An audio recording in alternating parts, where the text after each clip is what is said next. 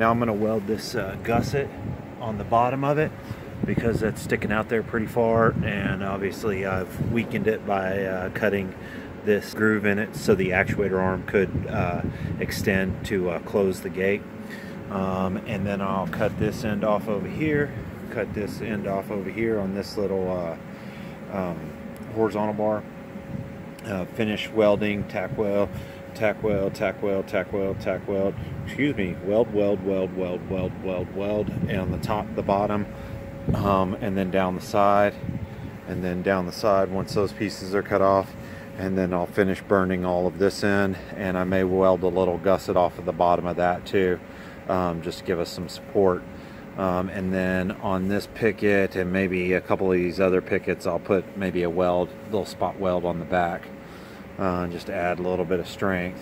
So that handles that part of it. Um, I uh, bought some brown paint for the fence part over there but it actually didn't turn out to be so bad. It's not a perfect match but it'll it'll blend a little bit better until they get the uh, powder coater out here and uh, paint um, the parts where we welded. Um, I have the uh, drilled a hole through the bottom of the uh, bracket.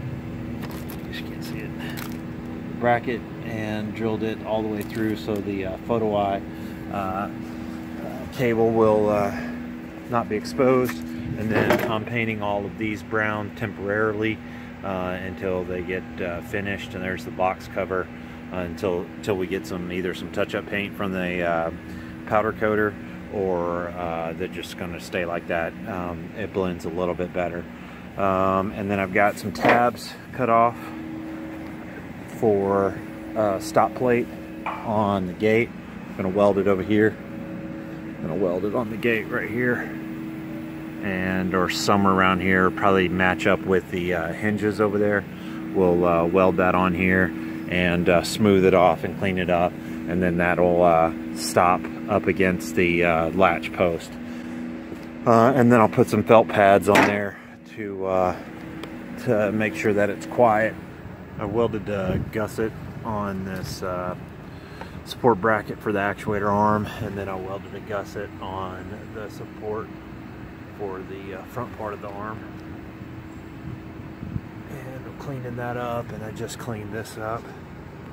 So uh, hopefully that'll help uh, it will help compensate for the big notch that I cut out right here so and then I got that all welded and then welded down there on the side and the back. It was tough to get to.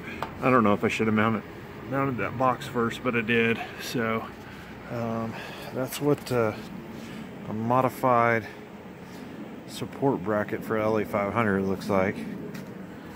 Had to cut that notch out of there so the arm would go back and forth. I've welded all the welded to all the pickets, welded down the side, welded all the pickets and then welded down that side. And then I um, just put little tack welds all along the back to uh, help add support. And then uh, you can see that I've added a gusset here too. So those are pretty pretty uh, inconspicuous so you really won't notice them uh, but uh, I felt that it needed it for the support for a number of reasons. But okay, uh, so that's uh, part of the welding done. I'm going to brush this up, and uh, that all that all the welding part will be done on the gate for the support arm, and then now I just need to weld a couple stop plates um, on the top and bottom the the gate, the vertical part of the gate frame. Here's what the strap looks like cleaned up. Just brushed all the top of the welds and then smooth the corners. Used a flat disc to clean up the edges. And then brush this under there as best we could. And then uh, brush the welds on top